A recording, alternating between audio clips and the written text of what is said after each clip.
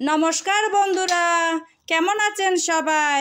আশা করি সবাই ভালো আছেন। আজকে একটা শাকের রেসিপি নিয়ে আপনাদের সামনে চলে আসলাম। শাকের রেসিপিটা হলো লাল শাকের রেসিপি আমরা তো কম বেশি লাল শাক সবাই খেয়ে থাকি, কিন্তু বাচ্চারা কিন্তু শাক সবজি খেতে খুব একটা পছন্দ করে না। তাদেরকে খাওয়ানোর উপযোগী করে তুললে বাচ্চারা অবশ্যই চেটে পুটে খাবে। কারণ শাক সবজি না খেলে তো হবে না, তাই না বন্ধুরা? মাছ মাংসের পাশাপাশি শাকটাও কিন্তু দরকার।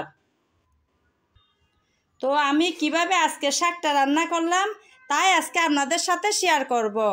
চলুন তাহলে রেসিপিটা দেখা যাক। এভাবে রান্না করলে ছোট, বড় সবাই চেটে পুটে খাবে।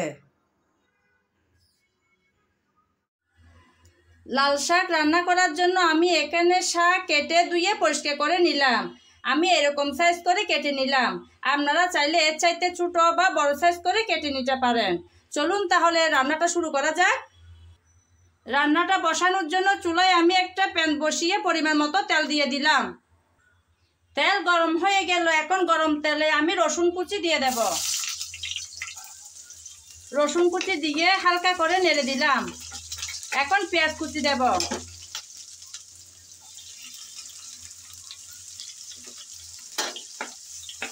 রসুন আর পেঁয়াজ হালকা করে বেজে নেব। রসুন, পেঁয়াজ হালকা করে বেজে নিলাম। এখন আমি এখানে মশলা দিয়ে দেব।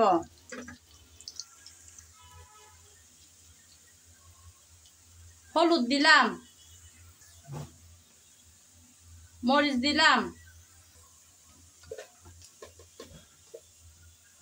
জিরে, ধনিয়া পাউডার দিলাম। স্বাদ মতো লবণ। সবগুলো এখন আমি নেড়ে চেড়ে বেজে নেব।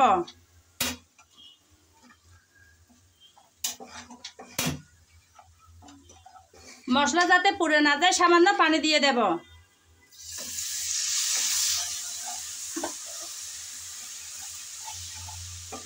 নেড়ে চেড়ে ভালো করে মশলাটা কষিয়ে নিতে হবে। আমি দু এক মিনিট এভাবে নেড়ে চেড়ে কষিয়ে নিচ্ছি। আজকে শাক রান্নাতে আমি আলু দেব। তাই একটা বড় সাইজের আলু কেটে ধুয়ে পরিষ্কার করে নিলাম। সেটা দিয়ে দিলাম। আলু হালকা করে নেড়ে চেড়ে নিয়েছি। আলুর সাথে আমি চিংড়ি মাছও দিয়ে দেব। কারণ আজকের শাক রান্না আমি চিংড়ি মাছ দিয়ে করব। চিংড়ি মাছ আর আলু একসাথে ভালো করে নেড়ে চেড়ে বেজে নিচ্ছি।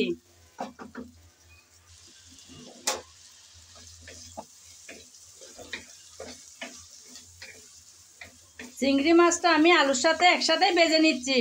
যার কারণ আলাদা করে আর মাছটা বেজে নেওয়ার দরকার নেই। আমি দু এক মিনিট এভাবে নেড়ে চেড়ে বেজে নিলাম। তারপরও আবারও ভালো করে যাতে কষানোটা হয়, সেজন্য দুই তিন মিনিটের জন্য ডেকে রাখব। ফিরে আসব দুই তিন মিনিট পর।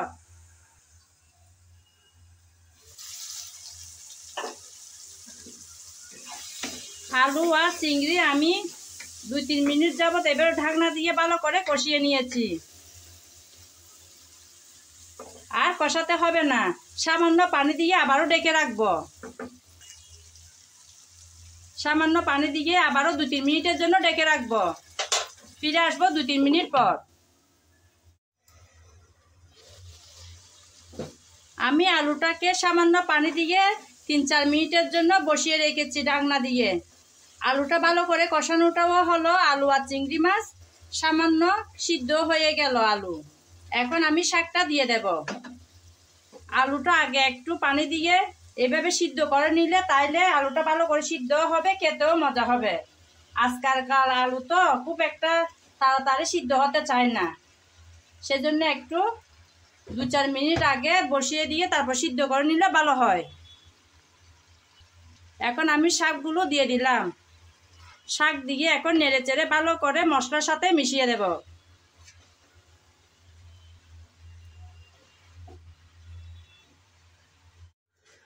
শাক আমি নেড়ে চেড়ে ভালো করে মিশিয়ে দিলাম।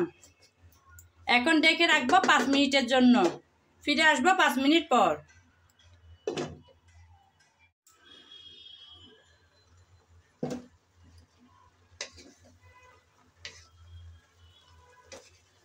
শাক আমি পাঁচ মিনিটের জন্য ডেকে রেখেছিলাম। শাক কিন্তু অনেকটাই সিদ্ধ হয়ে আসলো আর একটু কমিয়েও আসলো। আমি নেড়ে চেড়ে ভালো করে এখন সব কিছু মিশিয়ে দিচ্ছি।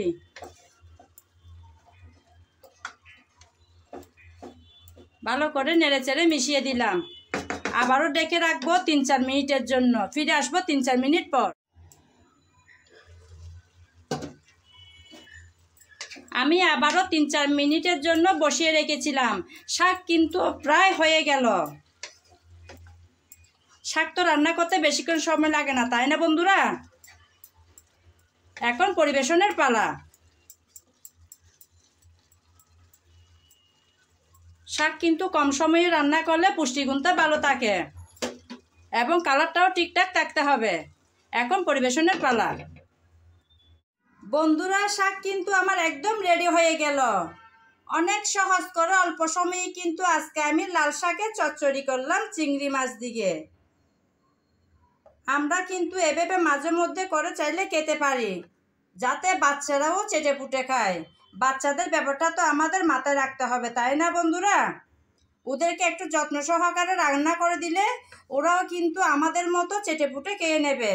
আমার রেসিপি যদি আপনাদের ভালো লেগে থাকে তাহলে আমার চ্যানেলটি সাবস্ক্রাইব করে আমার পাশে থাকবেন। লাইক, কমেন্ট, শেয়ার করবেন। আর যদি ফেসবুক পেজে দেখে থাকেন, তাহলে আমার পেজটি ফলো করে দেওয়ার অনুরোধ রইল। যারা আমার সাথে এতক্ষণ ছিলেন, তাদেরকে অসংখ্য অসংখ্য ধন্যবাদ।